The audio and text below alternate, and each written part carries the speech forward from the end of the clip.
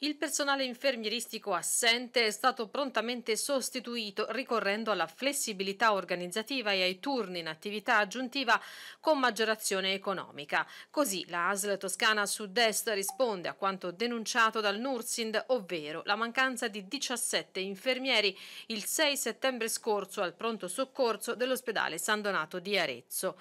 L'azienda sanitaria parla di evento straordinario, 8 le assenze programmate per ferie, le altre altre invece legate a malattie, gravidanze e congedi familiari. Una situazione, precisa ancora la nota, prontamente gestita nel rispetto delle norme contrattuali e senza far mancare i servizi ai cittadini. Al personale sanitario va il ringraziamento, spiega Vianella Agostinelli, direttrice del Dipartimento delle professioni infermieristiche e ostetriche dell'ASL Toscana Sud-Est, di tutta l'azienda per l'impegno e lo sforzo quotidiano. Crediamo che per fronteggiare le sfide della sanità e del personale non sia opportuno alzare i toni, dobbiamo lavorare tutti nella stessa direzione, cercare di far emergere la prontezza delle colleghe e dei colleghi nel gestire le criticità qualora si presentino.